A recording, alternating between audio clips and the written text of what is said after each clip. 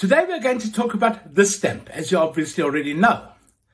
Now I'm going to put the stamp up behind me I'm going to make myself a little bit smaller and put myself in the corner and we'll continue from there.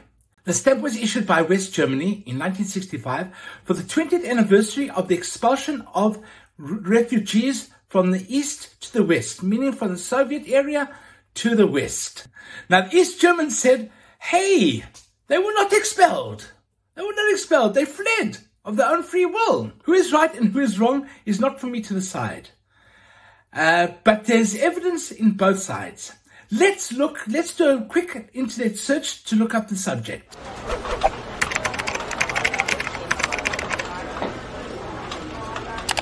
According to Wikipedia, Stalin had plans to, to uh, expel Germans who were in lands that they were going to take over. Now, they had already done this before. The Russians had already done this before with Crimea in about 1941. They had already expelled uh, Germans then. But many did leave by themselves. There is a lot of evidence to show that they were expelled. There's a lot of evidence that, the, that many Germans did flee.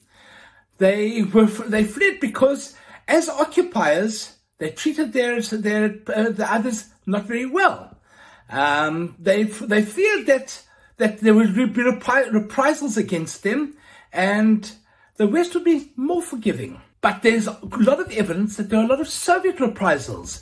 The Soviet army was not very forgiving, and there's many cases of, of the soldiers actually committing crimes, rapes, and other things.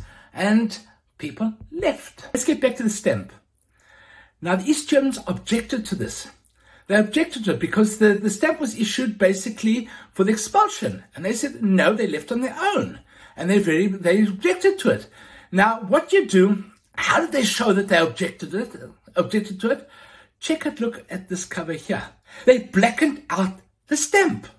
The stamp is totally invisible.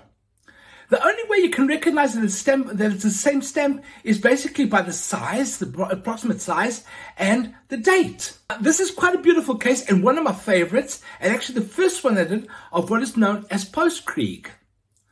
Anyway, I hope you liked this episode. Stay tuned because there's a lot more to come. Thank you for watching.